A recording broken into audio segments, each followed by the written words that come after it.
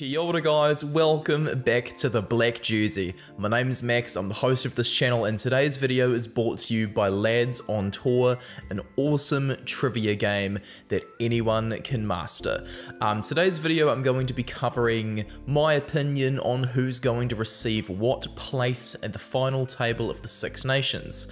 I'll be predicting who's going to come last, through to who is going to win, and perhaps get a Grand Slam should they win every single game. Um, a few videos I've done discussing all the squads from these teams will have given you kind of my raw thoughts. Now I'm going to have a decent crack to see who's going to um, get what done in the competition. I want to give a big thank you to my patrons before we get into anything, and I want to remind my new viewers to subscribe to this channel if you enjoy my content. Um, yeah, so we'll just get straight into things. Um, I think Italy is going to come last. Um, Italy are well known for being very much professional wooden spooners at this point. They are building towards something, I can guarantee you that. They beat Australia as of late. They beat Wales as of late. They just need to continue to build a little bit more, I think, though, because the key decision makers in their team are still very raw. Michele Lamaro, the captain, for example, is just 24 years old, and Ange Capuozzo, who won Breakthrough Rugby Player of the Year, um, has just got seven test caps. He'll be their uh, key player to watch this tournament, and former All Black Kieran Crowley is their head coach. Crowley is quite a smart coach who can get underperforming nations to rise to a higher level because he doesn't take any nonsense. And um, considering Italy have gone up to 12th in the world, I think there's definitely some more improvement we can expect from them. I just think Kieran Crowley's got a bit more of a long-term strategy compared to the likes of Conor O'Shea and Jacques Brunel, who just could not get Italy firing because they built the team around players who thought they were bigger than the team. Now we move on to the nation who I think is going to place fifth. Well, English fans, Eddie Jones got sacked, and now you've got what you've wished for. Steve Borthwick was Eddie Jones's assistant coach over in Japan and for England as well until 2020 when he became the head coach of the Leicester Tigers. Leicester were very dangerously close to relegation before Borthwick came in. They improved his first season in charge, then they won the Premiership at the end of 2022's um, 2021-2022 season. But let's face it guys, Leicester played very boring rugby. You're not going to get an improvement on what you were already calling boring rugby when Eddie Jones was in charge. While Freddie Steward, who's going to be the key player, is going to shine, you're going to see a few more um, shining forwards, you're not exactly going to get everything to click because without Marcus Smith in it tandem with Owen Farrell doing it all on his own, you're not going to have as many playmakers to expand the field for you to do your thing. England, you're ranked 5th in the world for now, but it's safe to say you're going to start falling down the rankings. Steve Borthwick, quite frankly, is too inexperienced to be the head coach of a Tier 1 nation.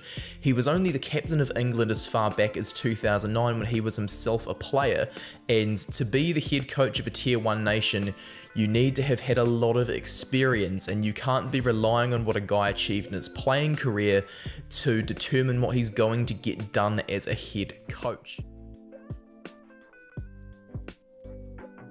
The nation I'm predicting to come fourth place is going to have a very rough 2023.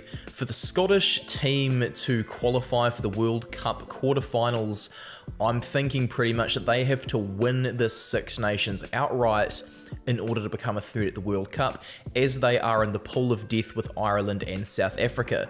The Scottish squad under Gregor Townsend, their head coach, is looking for the first time in the um, time that I've retired from playing myself, like a very settled squad. I'm going to say that now.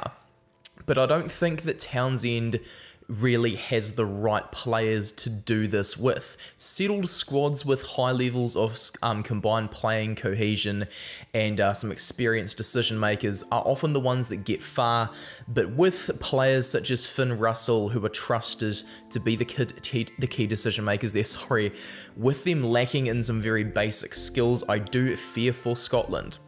It's going to be a bit better with a bit of weight taken off the back of Stuart Hogg for sure, with Jamie Ritchie now as captain. So I do think that Scotland will indeed win the Calcutta Cup, but with um, the fact that they're still seventh in the world, um, I'm just not 100% sure if we can expect to see much better than them in the few months leading up to the World Cup.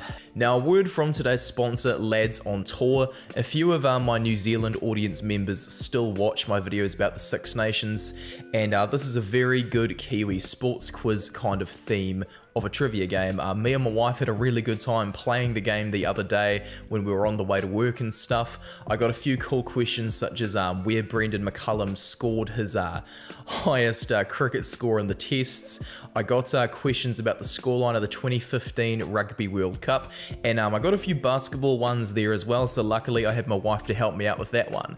Um, it's very much a good laugh. It's always good to um, grow your knowledge on the game and um, as my channel's almost pretty much themed about growing your rugby knowledge. I think that um, if you're just a Kiwi sports fan who loves to watch our country in general, this will be really good for you. Um, for Kiwis who are living over in the Northern Hemisphere watching these Six Nations games, maybe you could play a bit of this at halftime as well to keep yourself entertained.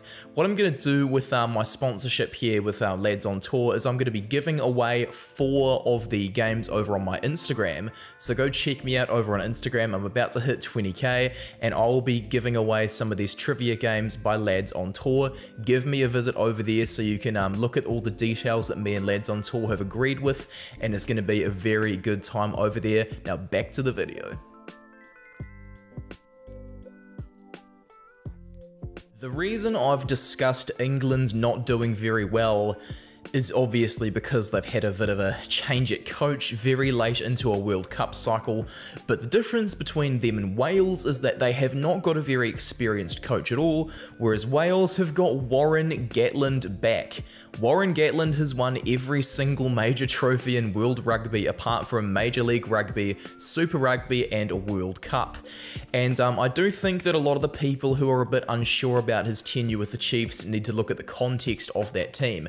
It was a very young team, and as there's no real game plan for the Kiwi teams, Gatland's Chiefs couldn't really go his route of being the king of the counter anymore, as New Zealand's teams basically all of the same strategy strategy. To me, it's no wonder that the Chiefs vs Crusaders match of Super Rugby Aotearoa was their most impressive, as Gatland had a reference point for Razor's tactics and what we could possibly do to overcome these Crusaders. Um, Warren Gatland achieved a lot with Wales. He won over 20 trophies, he won three Grand Slams, and uh, Ken Owens, his captain, is one of the um, players who was guaranteed to start, so I think it's a fair call. George North is um, back from injury as well. I think we're going to see some good stuff from him, particularly with Joe Hawkins named in their first round of the Six Nations to balance things out a little bit. Wales are ranked 9th in the world, guys, I know that, but things are going up because the new coach in charge is highly experienced and has a reputation for developing teams at short notice. That's why he was the most successful British and Irish Lions coach of the professional era. We're now up to the last two teams and I'm predicting France to come second this time by looking at their initial squad when I had my video previewing my raw thoughts on that. I had a look at their spine and I was like, you know, there's a lot of guys who were very inexperienced backing up their first choice players, so I would not actually be surprised to see France being alright with throwing a few games in order to develop talent. Maxime Lucu, for example, isn't going to be playing because he's injured, and Cameron Woki will also be missing due to injury. Same with our Pierre Bourgarit at hooker. So France are doing what they normally do and they are building depth. They haven't been scared to use B teams in mid-year tests under Fabien Galthié and apart from when they play the team I think is going to win, I think they'll just be holding stuff back for the World Cup and you know what, I don't blame them at all. They've now learned the habit of winning through 2022. Now they need to decide who the final third choice players are in their pecking order as it's very clear who's coming in the first choice jerseys. And the second choice jerseys, they just have some final few tweaks to go over. And I think losing the Six Nations will be a good reminder for them as to how high the standards have to be. Um, Grégory Alldritt, I'd say, is going to be a key player. He's played massive minutes in the Fabien Galthié era, and Antoine Dupont as captain is always going to do some damaging stuff. Um, as the team that's placed second in the world, they won't want to set a ridiculously sized target on their back, and I think France under Galthié are going to do everything completely correct, and they're timing their run perfectly.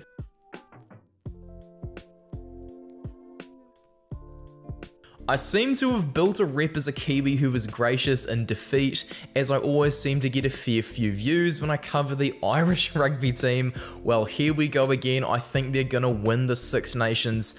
They have probably reached their peak in this World Cup cycle, but if we're being completely honest, I think that because of the depth they've built and the huge amount of combined playing experience their players have, they'll be able to hold on to what they're at right now. John Johnny Sexton as captain is about to be the oldest ever Irish player, and he'll want to go out with a bang in his last ever Six Nations, as he's announced he will retire at the end of the World Cup. Josh van der Flier, fresh off winning World Rugby Player of the Year, is certain to feature very much in Andy Farrell's team.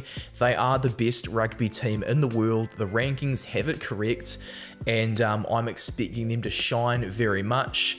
Um, this is going to be a very entertaining Six Nations for the Irish fans as they are especially licking their lips for that World Cup. Um, this is the best chance they've ever had to get out of a quarter final. I'm backing them 100%. I think they can do it. They just need to remain calm, not overthink things, and not like psychologically implode like how they did to Eddie Jones's England in 2019. Um, I don't think they're going to win a Grand Slam necessarily, but I think they are more likely to get a Grand Slam than France, hence why I've got them over here. France, you see, are on a very, very long winning streak and it's going to end eventually. So I thought, you know what? Um, considering the more wins you rack up in a row, the um, more likely it is to end next time. It's just stats working against the French this time, and um, I'm wishing the Irish all the best. I think they are going to win.